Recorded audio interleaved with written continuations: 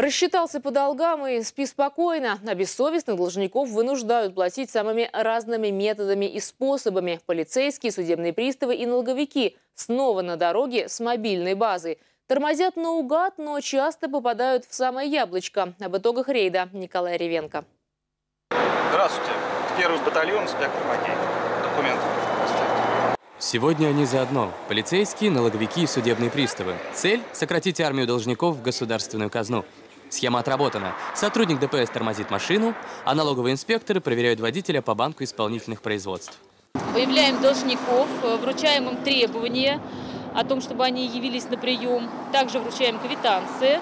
То есть людей полностью уведомляем о том, что, о том, что в отношении них возбуждено исполнительное производство, чтобы человек смог погасить задолженность.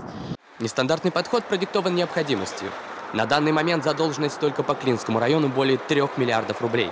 Это неоплаченные штрафы, алименты, кредиты. В списке злостных должников почти 33 тысячи клинчан. Отговорки одни и те же. Не знал, не получал, живу не по прописке. Однако незнание от долгов не освобождает. Каждый человек может э, зайти в интернет, открыть баз данных исполнительных производств и ввести свою фамилию, имущество, дату рождения и узнать о любой задолженности, которая в отношении него имеется. Валерий Жигалов уверен, он перед законом чист, а потому на проверку согласился охотно. Нет у вас долгов, все у вас нормально.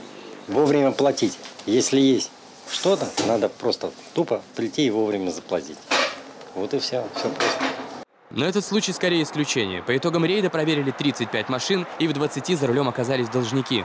Квитанции выписали и выдали на сумму почти в полмиллиона рублей, так что особо забывчивым без лишних формальностей осталось только оплатить. Если требования проигнорируют, инспекторы применят санкции, штрафы, арест имущества и банковских счетов, а также ограничат в загранвыездах.